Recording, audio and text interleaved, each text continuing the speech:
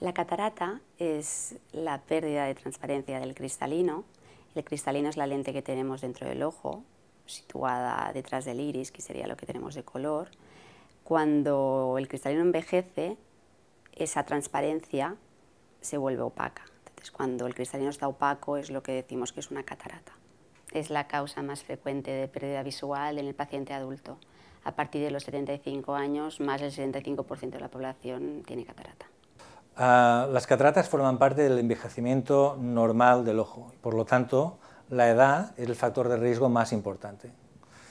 A partir de aquí hay otros factores de riesgo, unos de tipo general y otros de tipo local a nivel ocular. De tipo general ah, lo forman algunas enfermedades como la, la diabetes, el tabaquismo y la exposición prolongada a radiaciones ultravioletas. También el uso de corticoides por vía oral crónicos.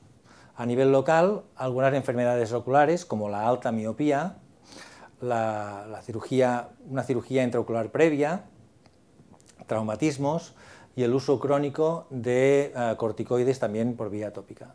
Una pérdida de visión lenta y progresiva, que puede ser diferente en los dos ojos, deslumbramiento y también un cambio en la graduación de las gafas del paciente. Y también puede ser que el paciente vea mejor de cerca sin sus gafas normales de cerca.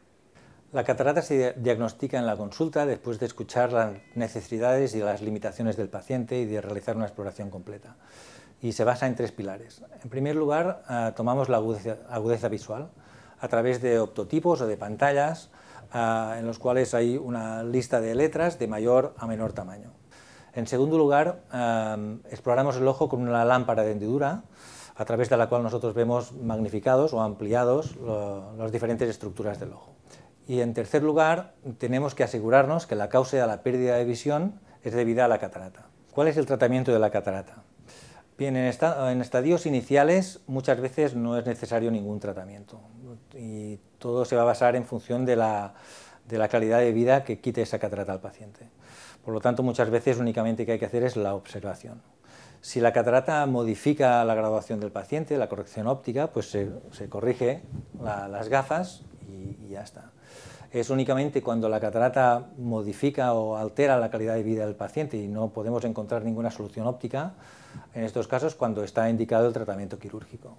Cualquier paciente que venga a operarse de cataratas, eh, lo, primero que se le hará es una visita de preanestesia, eh, donde le harán unas preguntas relacionadas con su estado de salud, se le hará un electrocardiograma si hace falta y una analítica.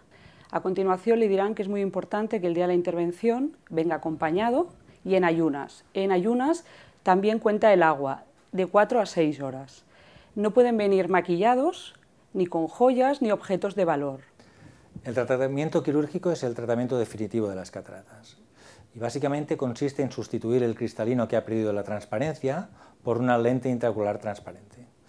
Esto lo realizamos de manera ambulatoria a, través de una incisión de poco más de 2 milímetros y lo que vamos a hacer es triturar esta catarata y luego aspirarla para colocar finalmente una lente intraocular mm, de manera ambulatoria y con una cirugía que dura unos 15 minutos aproximadamente.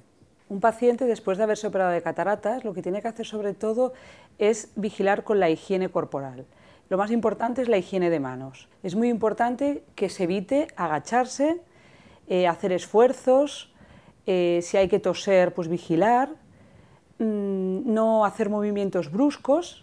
A la hora de dormir es muy importante dormir boca arriba o del lado contrario al ojo que le han operado. Aproximadamente el 90% de los pacientes que se intervienen eh, tienen mejores resultados que, antes de la intervención y si tenemos en cuenta eh, solo los pacientes que no tienen ninguna otra enfermedad ocular que limite el pronóstico, el porcentaje supera el 95%. En primer lugar, una pérdida de visión que habitualmente ah, aparece después de los primeros días de la cirugía, ah, cuando el paciente em, ha, empezado a ver inicialmente bien, es un signo de alarma. Y luego el dolor, eh, que es dolor intenso, no únicamente la sensación de cuerpo extraño, que esto es relativamente habitual, pues eh, es algo que nos debe alertar. Por lo tanto, la pérdida de visión y el dolor en estos casos hay que acudir a urgencias.